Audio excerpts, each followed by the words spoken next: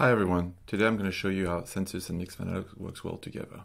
So here you have a typical user profile Mixpanel. You can see that we have a bunch of events already, and then we I went ahead and created some uh, custom properties on the user profile here. So last event, new canvas, owner email, things like that. Typically these are kind of like insights or aggregate metrics that have been computed into your warehouse. So let's use Census to bring that data into Mixpanel.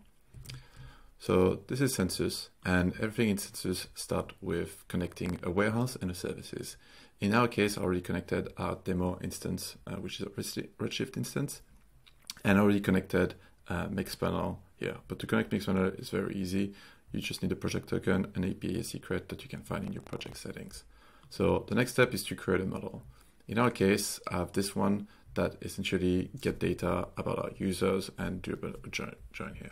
So if I do a quick preview, we should see all of the data that I need for Mixpanel. So as you can see here, we have aggregated action count, like date calculated, and other type of metrics that we want to have in our Mixpanel instance. So this looks good to me. So the next step is to go ahead and create a sync. So to create a sync, you pick your destination, in our case, the Redshift demo instance, and then you pick a source model. For us, is the one that I just showed you, the golden user one. Then you pick the destination. So today we'll pick Mixpanel.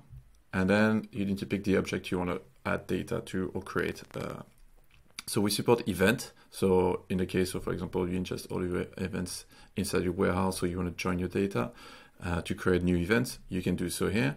And we also support user profile. And so for user profile, which is the one that we're going to use today, uh, we support the upsert method, which is which means that if we detect an existing user, we'll update them. And if we don't detect uh, the user in Mixpanel, we'll create one for you. To do so, we need a distinct ID. So Mixpanel requires just a distinct ID here. And in our case, our ID is already in our warehouse. So we'll pick that up from the dropdown. So now you can start adding the mapping. So for example, one, one we wanted is like action count. And so you can see it automatically map to the column name in my warehouse.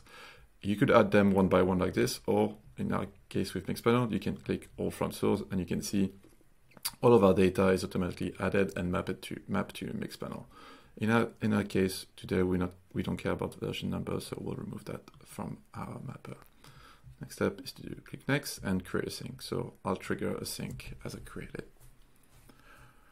While the sync is running now, um, I want to call out your attention on the scheduling the sync. So you go to configuration, you pick the frequency or the schedule you want. Manual is simply going into the Census UI and clicking the sync now button here.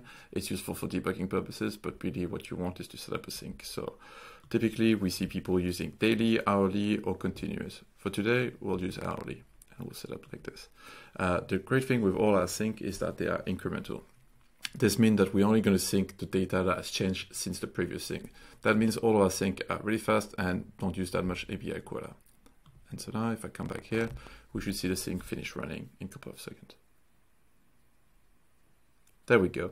So now if I go back to my Mixpanel demo instance, I can click refresh and we see all of our data is now available on our user object here. And so now I can go back to the user and for example, I can create a new uh, cohort called that use action count. And we're going to say everybody has who has more than 20 actions, 20 actions, sorry, is going to be a power user. So let's rename that cohort here. There we go. And so now I've created that new uh. I can go into my dashboard here, and here I have a very simplistic uh, funnel.